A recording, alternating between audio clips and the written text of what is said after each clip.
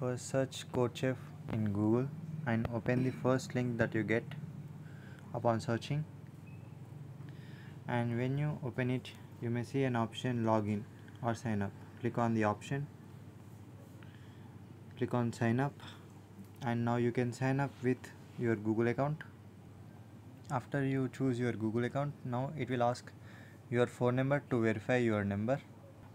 After you enter your phone number it will send an OTP once you enter the OTP then click on verify.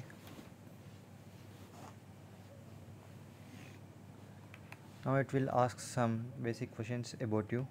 Answer the questions. Student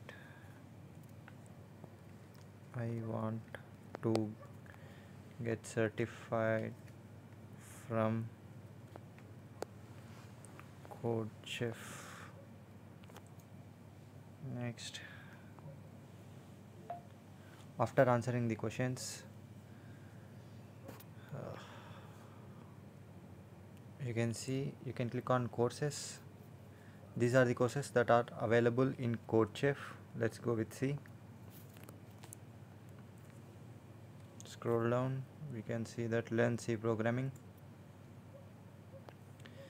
So once you complete this course then you will earn the certificate of CodeChef